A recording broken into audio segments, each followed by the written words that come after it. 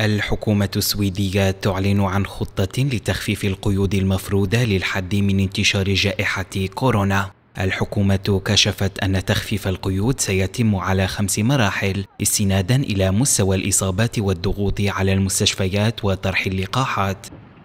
وستشهد الخطوة الأولى لإعادة الفتح. السماح للمطاعم بالبقاء مفتوحة حتى الساعة العاشرة والنصف مساء إضافة إلى استئناف بعض الأنشطة الرياضية.